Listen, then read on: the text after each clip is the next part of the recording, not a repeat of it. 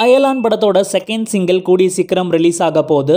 இந்த படத்தோட audio launch December twenty six நடக்க போகுதுன்னு அஃபிஷியலாகவே அனௌன்ஸ் பண்ணியிருக்காங்க ஜிகர்தண்டா டப்ளெக்ஸ் மூவி நெட்ஃப்ளிக்ஸில் டிசம்பர் எயிட் ரிலீஸ் ஆக போகுது.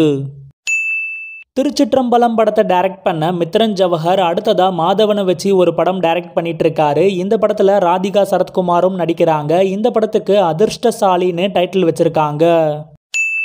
ஷாரிக் அம்மு அபிராமி விஜே ஆஷிக் பவித்ரா லக்ஷ்மி நடிச்சிருக்க ஜிகிரி தோஸ்து படத்தோட ட்ரைலர் இன்னைக்கு ஈவினிங் சிக்ஸ் பிஎம் ரிலீஸ் ஆகுது. தங்கலான் படத்தோட டப்பிங் ஒர்க்கை மாலவிகா மோகனன் கம்ப்ளீட் பண்ணிட்டாங்க. டேரக்டர் வெற்றிமாறன் ஏகே அஜித்குமார் கிட்ட ஒரு கதை சொல்லியிருக்கிறதா ஒரு கதை ஒன்று சோஷியல் மீடியாவில் சுற்றிட்டு இருக்கு.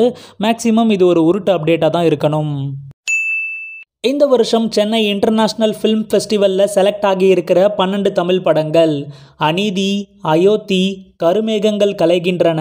Maamannan Porthozhil Raavana Kottam.